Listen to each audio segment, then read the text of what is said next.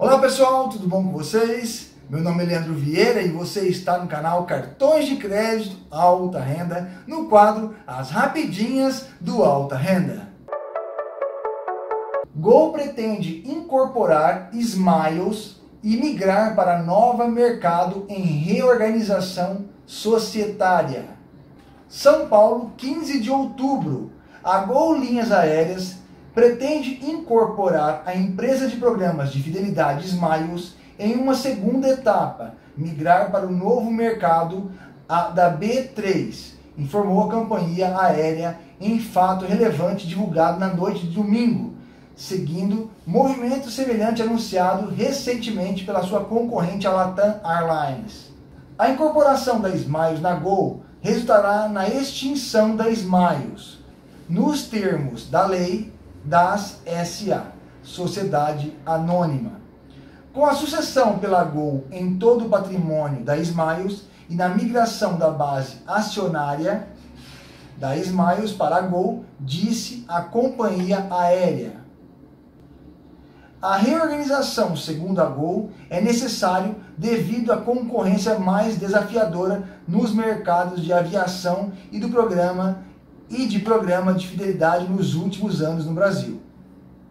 A empresa disse que, apesar dos esforços para aumentar a atratividade de seus produtos, as estruturas societárias separadas e as limitações impostas pelo contrato operacional com a Smiles se tornam obstáculo para os investimentos necessários e para uma melhor coordenação do desenvolvimento de oferta e produtos nos respectivos mercados.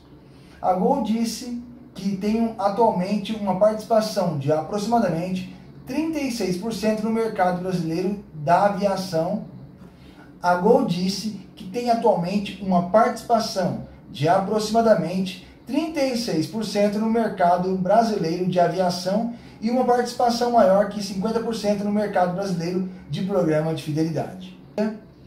A incorporação pretendida, que necessita da aprovação dos acionistas e da Agência Nacional da Aviação Civil, ANAC, será realizada por meio de emissão pela Gol ações preferenciais de uma classe atualmente existente e de uma nova classe de ações preferenciais resgatáveis pela Gol, em favor dos acionistas da Smiles. O resgate das ações PN especiais será feito em dinheiro e o valor da transação não foi anunciado. As ações da Gol operavam em alta de 2,44 às 10h44 da manhã na Bolsa Paulista, enquanto o Ibovespa subia 0,79. Provavelmente o programa Smile será extinto, né? E vai vir aí como vai deve chegar um novo programa de fidelidade como o da Latam, que vai acabar com a Múltiplos e vai ser o da Latam Airlines, né? E a Smiles deve fazer a mesma coisa como fez a Latam, né? Então a gente vai acompanhar aí, verificar. Acredito eu que não iremos sofrer com os processos da mudança, como da Latam Airlines, que nós não teremos nenhum problema com nossos pontos, e da Smiles a mesma coisa. Continua da mesma forma, quem está dentro do programa de fidelidade, quem paga tratamento do programa da Smiles, não muda nada por enquanto.